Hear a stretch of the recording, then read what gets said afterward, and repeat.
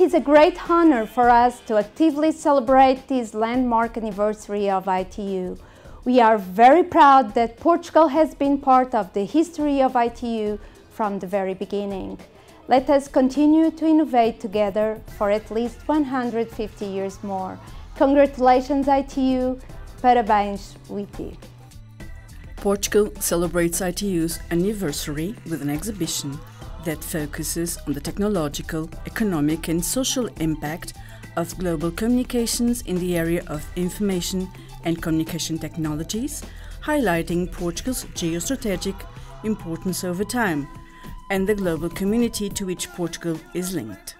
The Portuguese postal operator, CTT, Correios de Portugal, also celebrates ITU anniversary with a commemorative philatelic issue. UIT, 150 anos. Parabéns, UIT.